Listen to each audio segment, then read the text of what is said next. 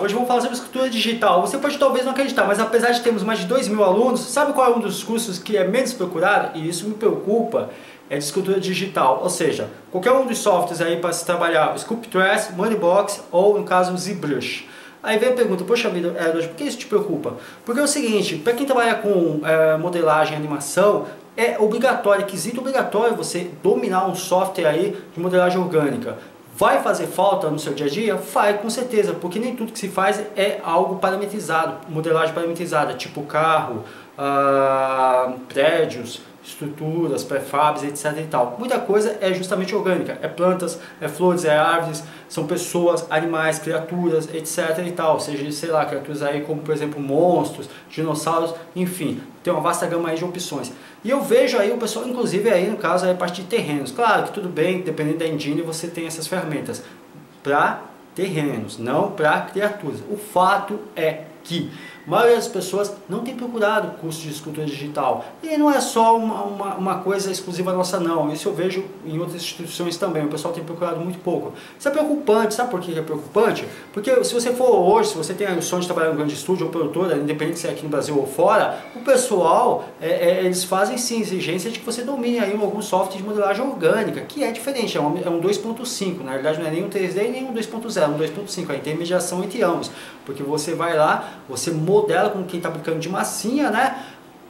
E faz pintura, faz skin como se estivesse no editor de imagem. O fato é que é quesito obrigatório, você vai sentir que é muito mais prático e rápido você fazer criaturas, animais, elementos de fauna e flora, etc e tal, num software aí de escultura digital do que você ir para um convencional, como Blender, Maya, 3D Max, Houdini, não importa se o seu nível é avançadíssimo no software 3D. Se eu colocar um profissional que trabalha com escultura digital para fazer a mesma modelagem que você faz do seu lado, se eu colocar você para modelar um dragão, um dinossauro, o cara que faz escultura digital, ele vai modelar no máximo 5 a 10 minutos, você vai ficar 2 a 3 horas. Eu estou falando de um personagem avançado, um personagem aí com detalhes, já com skin e tudo mais, tá?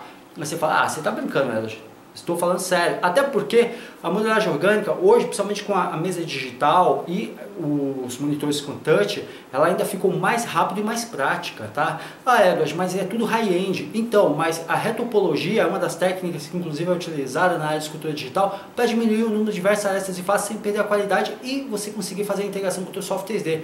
Porque os softwares de modelagem é, é, escultura digital, eles não fazem animação, eles fazem a parte de modelagem. É como se você estivesse brincando de massinha ou oleiro, aquele que faz o vaso, ou um trabalho de cerâmica. O fato é que você modela lá, já cria o skin, né? E traz integrado para o teu software 3D, aonde você vai aplicar o que? Vai aplicar o sistema de rings, que é o sistema do que? De bônus para se criar a animação ou aplicar a captura de movimento, tá bom? O fato é que, como você observou, a escultura digital é uma lacuna para se preencher para você que é um artista 3D. Se você trabalhar com games, olha, aquisito obrigatório, mesmo que seja animação, né? animação 3D aí, seja para é, área publicitária, web, TV, filme, cinema, não importa, é quesito obrigatório dominar um software aí. E é fácil, você pensar com vocês, softwares como Sculptures você aprende uma semana, o ZBrush uns dois, três meses você consegue dominar todas as ferramentas, tá? Ah, o Mudbox, até mesmo, o Mudbox em um mês você consegue dominar ele. O Mudbox, inclusive, que é da Autodesk, é tudo integrado com a família, né? Então, eu vou ser pensado com você. Custo-benefício, o Sculptress, né? Por quê? Porque ele é gratuito, o Sculptress é gratuito, o Mudbox tem uma licença bem acessível, inclusive agora é, dá para parcelar, né? Dá para parcelar, não, dá para pagar mensalidade, né? Do uso da ferramenta, que é a nova política da Autodesk, vende com outros grandes fabricantes. E no caso aí do ZBrush, a licença também acessível, só um pouco mais salgada aqui do Multibox. Então tá aí, você tem opções gratuitas, opções mensais, opções aí é, é um pouquinho mais é, salgadas, mas você tem opções para trabalhar, então não tenha desculpa. Inclusive na Camaleão Digital uh, tem cursos gratuitos justamente do Multibox do Sculpt Test, quer dizer, nem desculpa para dizer que você não tem onde aprender é, ou não tem dinheiro para gastar, você não tem como, o porquê, né, dá. E assim, tem um portfólio aí com algum, alguns elementos bem apurados. Inclusive, eu tive programadores, quando a gente começou a Camaleão, eu tive alunos que são programadores e nunca mexeram com a parte artística 3D. E, fizeram, e começaram a fazer personagens realmente muito interessantes com escultura digital. Personagens assim, bem profissionais mesmo com, com a parte de escultura digital, com o ZBrush no caso, na época, né?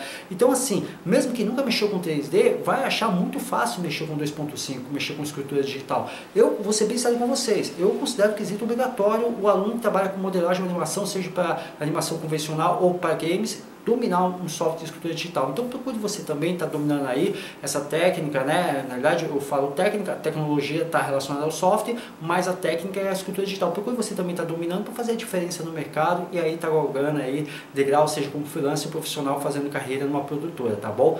Muito obrigado pelo tempo de vocês. Mais dúvida? Skype, e-mail, Facebook, eu ligo aqui na Camarão Digital, tá ok? Eu estou sempre online. Obrigado.